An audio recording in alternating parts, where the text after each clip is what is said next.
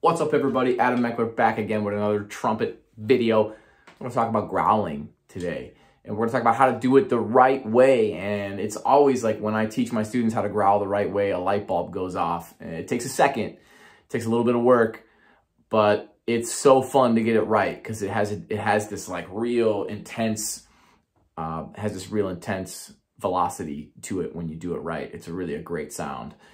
I heard Terrell Stafford tell this story. Terrell Stafford's one of the great uh, trumpet players in the world today. And he told the story about playing with Jon Faddis, who's one of the great lead players in the world today, kind of came up under Dizzy Gillespie, about how he was on a gig and Faddis was the lead player and he was flutter tonguing to growl. Anytime it said growl in his chart, he would flutter tongue, right? And if you don't know what flutter tonguing is, this is how most people growl, is they go, and they, they kind of roll their tongue, right? It's like rolling an R.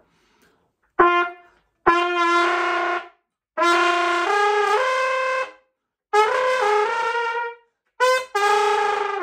right, so that's uh, I'm playing the song Saint.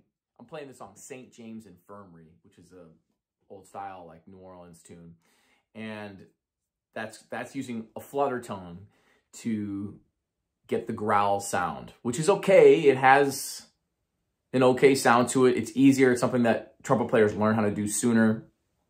For whatever reason, we're not taught the real way to growl. But on this gig that Terrell Stafford was on, as the story goes, Faddis was essentially like, how are you growling? Are you growling? Are you flutter tonguing to growl? And Terrell Stafford was like, yeah. And he was like, figure out how to growl for real or you're not in the band. You're out.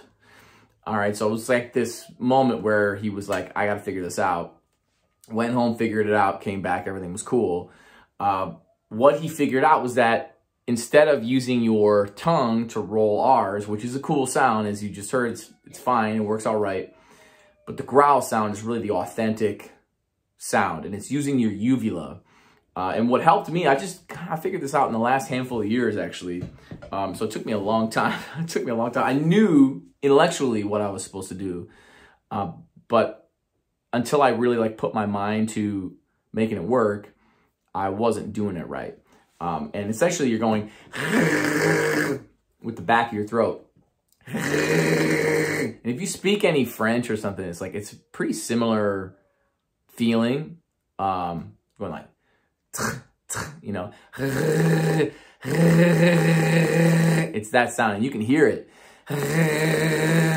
And the real difference between the flutter tongue and the, and the and the growl, as you'll hear in a second, is that more air is able to get through when you use your uvula to growl. So you can get a bigger sound. There's more resistance when you use your tongue to roll the R and less air is able to get through. And so the sound is really flappy because your tongue is flapping, right? But it's less big, all right? So I'll, I'll do them back to back. Um, this is the flutter tongue way again.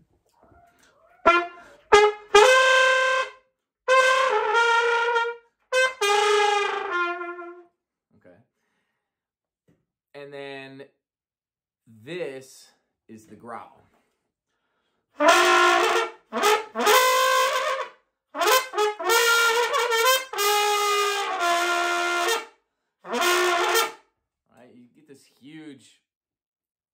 Like visceral, aggressive feeling. It's this massive sound uh, that you can get.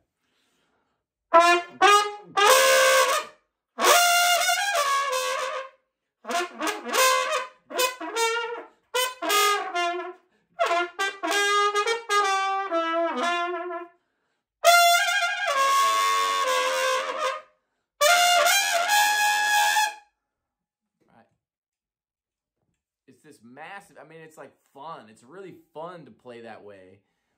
It's, and it's a huge difference between, right? That's the flutter tongue. Here's the, here's the growl.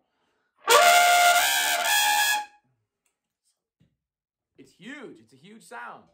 It's a huge sound. It's much, much better. So I would suggest that as you develop your ability to play the trumpet, you incorporate growling with the back of your throat, uh, almost like you're hawking up a loogie, right? rather than flutter tongue is great, and you have to flutter tongue in a lot of like, classical pieces. They put flutter tongue in as a thing that you should do. Every time I see it, I'm, I'm like, I don't like it. I just don't like the sound of it. Uh, and I started, I'm, I'm, playing this piece, like a classical piece with a symphony, which I don't usually do at all, but there's like all these flugelhorn feature things that they wanted me to play solos on. So I'm kind of like a featured soloist on this stuff, and I'm growling for some of it because it's easier. It's just easier to growl uh, than flutter tongue. It, for me, uh, I've always, for some reason, it was like always hard for me to, to flutter tongue. I'm much better at it now, uh, practicing it. But from years, you know, in, when I was in my master's degree studying trumpet, it was like, and I had to play some stuff with flutter tonguing in it. I always struggled with that. Uh, but that's the right way, the real way, the authentic way to growl. So if you're playing any music, improvising, it's great. growling is, it's another element that you can add in uh, to your music making. All right, it's great. It fits in a lot of contexts. I play in like a small jazz trio called Supercell that has a new album coming out in December of 2022. And uh, it's called Live Volume 1. And I'm doing a little growling on that record. And that's like a small group, just bass, drums, and trumpet. And it still works in that setting. Just depend. I use it sparingly in that setting, but I also play a lot of brass band music, and so of course I'm using it like the New Orleans style stuff. I'm using it in that quite a bit. So that's it. That's how you growl. If you dig it, like and subscribe. I appreciate you watching. And uh, hey, shoot me a comment. Let me know what you'd like me to make, any topics you'd like me to talk about, or if you've got any tips for learning to growl yourself. Thanks for watching. Peace.